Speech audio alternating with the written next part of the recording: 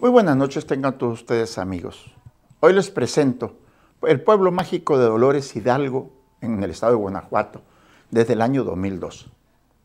En la época prehispánica, el territorio era conocido entre la población nativa como Cocomucán, que significa el lugar donde se cazan tórtalas.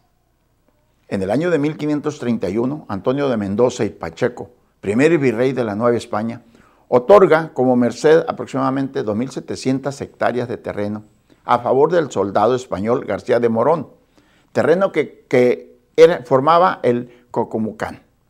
Esta ciudad fue fundada en 1542 por el fraile Juan de San Miguel. Es una área poblada principalmente por indígenas purépechas. Esta ciudad fue fundada en 1542.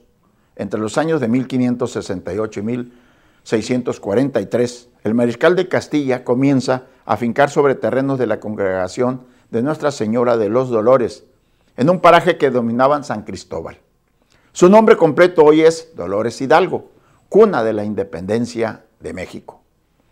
Un impulso libertario y de autonomía se percibe en Dolores Hidalgo, en pleno centro de esta ciudad, la imagen del prócer nacional don Miguel Hidalgo y Costilla, invita a los viajeros a conocer sus monumentos, sus calles, la hermosura y la elegancia de estas casas coloniales. Reconocido como el, crisol de la independencia, Dolores Hidalgo es una pintoresca y emblemática población de provincia. Ofrece varios monumentos de gran importancia. Disfrútelos usted a plenitud el día que vaya. Lo primero que resalta de Dolores Hidalgo es la valiosa arquitectura de su centro histórico situado junto a la plaza principal de la parroquia de Nuestra Señora de los, Dolores, está considerado como la construcción más visitada del lugar.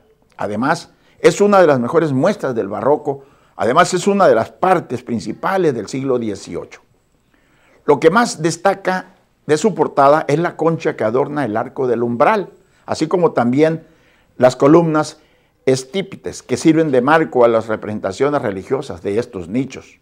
El interior de la parroquia de Nuestra Señora de los Dolores se engalana con un hermoso retablo, uno de los cuales se tomó como motivo a la Virgen de Guadalupe y al otro a San José.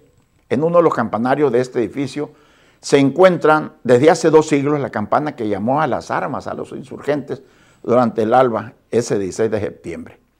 Por otro lado, es uno de los extremos de la mencionada plaza principal de Dolores Hidalgo, se unifica una elegante casona del siglo XVII, nombrado por tradición como la Casa de, Visitas. Sobresale su atractivo portada barroca, los arcos lobulados de su piso, así como las cornisas que desde el centro de esta fachada se dan en una forma de cruz. Igual sería interesante es el Museo Casa Hidalgo, que es del siglo XVII.